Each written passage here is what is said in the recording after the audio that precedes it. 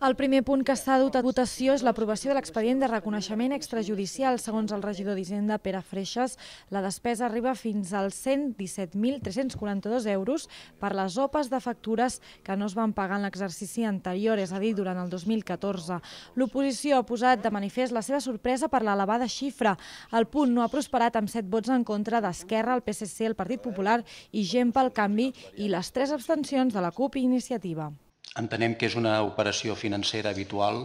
No obstant això, sí que hem vist que en l'informe d'intervenció que se'ns va facilitar al respecte, al final del, a la part final de l'informe, hi havia algunes, algunes observacions que considerem no, no s'han no explicat suficientment, com ara els dubtes que s'hi exposen sobre l'aplicació pressupostària en la qual es pretén mm, imputar una de les factures, concretament de, de, de 2.196 euros amb 15 cèntims, o bé el requeriment que, que es fa per tal que s'instrumentalitzin de manera urgent els sistemes de pagament en efectius previstos legalment en la llei reguladora de de les hisendes locals.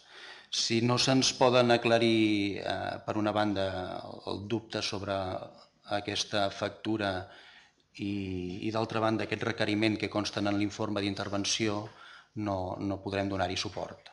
Nosaltres no donarem suport en, en aquest punt i no ho donarem per, per dues raons. Una, l'informe que ha fet la interventora, no en repetiré, doncs la, ja ho ha exposat el, el, el company Cervera, i una altra és l'assistència la, en, aquesta, en aquest expedient d'unes factures, factures que corresponen a l'any 2013, factures que són d'unes sortides per, per gent gran, de l'època en la qual jo era, era regidor de, de serveis socials i de gent gran, i no donaré suport, primer perquè hi havia la reserva de crèdit pertinent, hi havia els diners pertinents per pagar aquestes factures i no entenc per quina raó doncs, eh, ni es van pagar el 2013 ni es van pagar el 2014 i es posen al 2015. Nosaltres eh, tampoc donarem suport eh, bàsicament perquè al mes de desembre ja vam fer una sèrie de...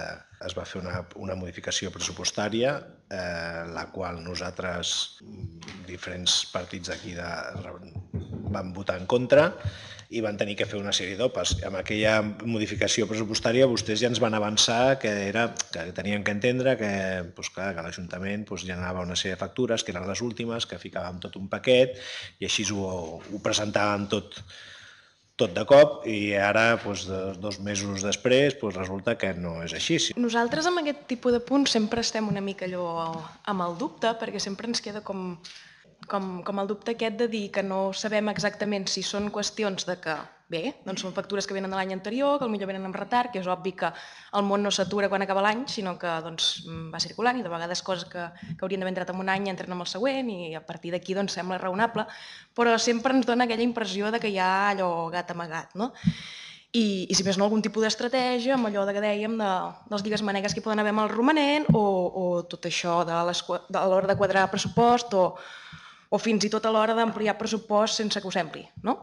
La, la despesa aquesta d'assessorament legal eh, s'ha vinculat a, a una partida que és promoció educativa i no entenem si són despeses d'assessorament legal no poden anar a una partida que es diu promoció educativa perquè no té res a veure una cosa amb l'altra.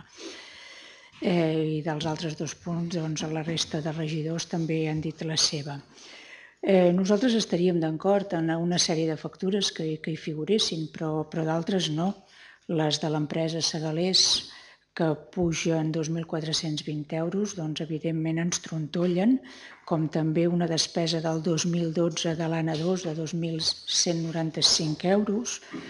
Llavors veiem que hi ha el servei de teleassistència del mes de novembre, home, hi ha hagut temps per pagar-ho, les factures del Consorci de Residus, que, que pugen 62.297 euros, etc. També es va debatre la modificació puntual del Pla d'Ordenació Urbanística Municipal de l'àmbit sud del sector 19 anomenat Tuktok Lane. La modificació s'ha realitzat per una sentència judicial que va declarar nul el plantejament inicial del POUM per a aquest sector i que dividia la zona en dos. La majoria dels grups hi han votat a favor justificant que la modificació s'havia de fer perquè la sentència no donava més opció. La CUP s'hi ha abstingut. El Consorci de la Defensa del Riu Besòs va modificar els seus estatuts i és per això que Cardedeu, en quant a Societat Talents, ha hagut de ratificar els canvis que proposava la companyia. Segons el regidor de Medi Ambient, Joan Josep Pinós, les modificacions més importants són l'adscripció de l'ENS que passa a ser de l'àrea metropolitana de Barcelona i el seu canvi de nom. Ara es dirà Consorci de Besòs Tordera perquè amplia la seva zona d'influència fins al riu Tordera.